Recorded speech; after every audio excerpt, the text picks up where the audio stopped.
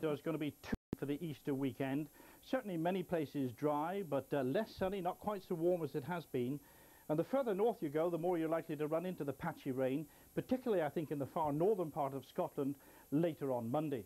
Well, that's a satellite picture for the afternoon. It shows some cloud in the north, some down the eastern side, and we've seen a big variation in temperature through today. The warmest place was Strathallan, just to the north of Edinburgh, up as high as 19 Celsius, and one of the coldest, Margate, where the temperature only got to about 9 degrees or so. And it's going to be a cold night tonight, not quite so cold as last night, but there will be a fairly widespread ground frost, I think, in many parts.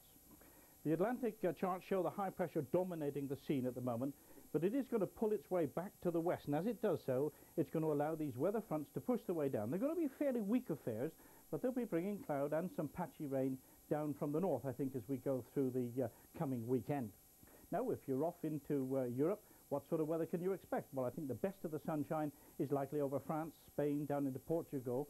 But through the Mediterranean, there's going to be some fairly hefty showers. Eastern Europe, some pretty miserable weather too. Snow up in Norway and down on the Alps as well. Back to this country, though, for tomorrow, still fairly cloudy near that eastern side, but a lot of fine weather. A few mist and fog patches, but they'll soon be clearing away. And then there's cloud breaking up near that eastern coast, uh, more so than it did today. In the far northern part of Scotland, though, the cloud thick enough to give some drizzly rain, particularly, I think, later in the day. Still pretty cold up in the north, but up as high as 18 down in the south at 64 Fahrenheit.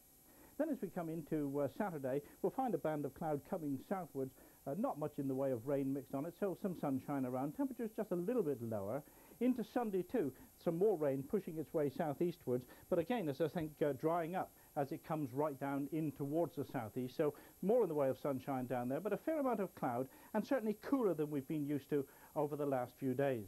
Into Monday and later in Monday, I think we're going to find some pretty hefty rain coming to the far northern part of Scotland, perhaps some snow on the hills, but I think staying predominantly dry down in the south with still a little bit of sunshine and getting a little bit warmer again. That's it. Bye for now.